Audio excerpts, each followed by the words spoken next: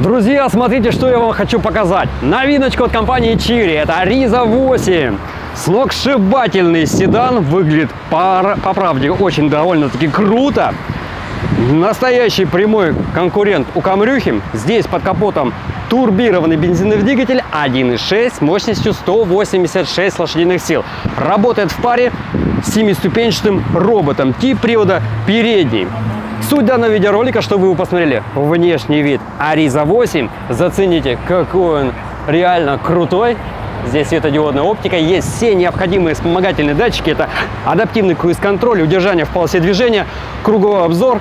Все здесь есть. Двигатель 1.6 турбо, 186 лошадей. Робот 7-ступенчатый с двумя мокрыми сцеплениями. Вид сзади. Здесь тоже вопросов никаких не возникает. Раздвоенный выхлоп. Возможно, это фальш, да, это фальш выхлоп. Есть датчики парковки, разумеется, камера сзади.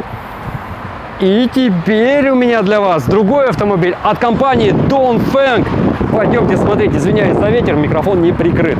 Вот, друзья, этот красавчик, это Dongfeng Шин Макс, как-то вот так называется.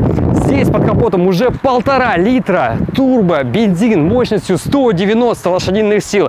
Работает в паре с семиступенчатым роботом с двумя мокрыми сцеплениями. Тип привода передний, колесные диски здесь на 17. В Аризе 8 они были на 18.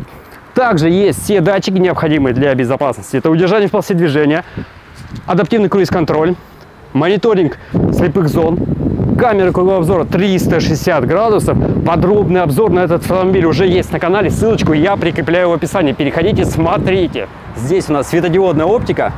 Также Shine Max у нас в кузове седан, как и Arrizo 8. Что касается стоимости.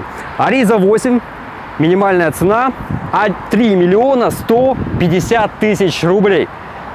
Цена вот такого автомобиля в комплектации luxury 2 миллиона 990 тысяч рублей. Напишите в комментариях, что на ваш взгляд круче.